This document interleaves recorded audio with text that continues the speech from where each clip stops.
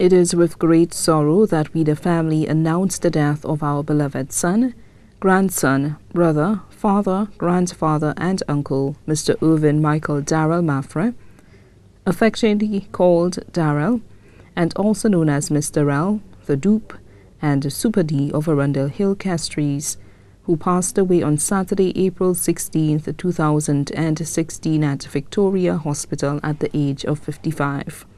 The funeral service of the late Mr. Irving Michael Darrel Mathurin will be announced in a subsequent broadcast. His body now lies at Crick's Funeral Home Limited, Vide Bouteille. May he rest in peace.